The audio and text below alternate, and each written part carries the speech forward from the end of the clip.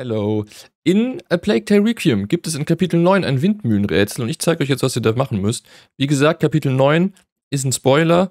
Wenn ihr es nicht sehen wollt, macht ganz schnell aus. Ansonsten seht ihr jetzt, was hier Phase ist und was ihr dafür sogar am Ende bekommt. Und das ist ähm, schon cool.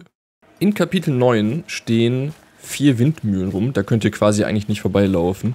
Und äh, die sind teilweise an, teilweise aus. Ihr könnt in jede Windmühle reingehen. Manche haben die Türen offen, in andere müsst ihr reinklettern, müsst ein kleines Schieberätsel machen, nichts, was euch eigentlich vor Probleme stellen sollte. Ähm, bei der letzten Windmühle, da reagieren die Spielfiguren auch drauf, da hört ihr so ein kleines Geräusch. Da ist irgendwas aufgegangen. Ähm, aber ihr könnt da noch nicht hin. Denn ihr müsst die Windmühlen in verschiedenen Kombinationen an und aus haben. Die ersten beiden müssen aus sein und die dritte und die vierte Windmühle muss an sein. Wenn ihr das nämlich gemacht habt, geht ein Versteck auf.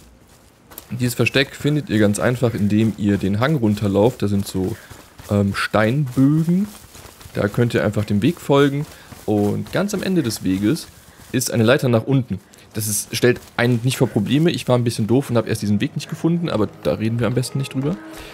Und am Ende des Weges gibt es einen Schatz. Genau genommen gibt es zwei Schätze, die ihr plündern könnt und ihr bekommt einen besonderen Armschutz, ähm, wo ihr euch schneller von Treffern erholt.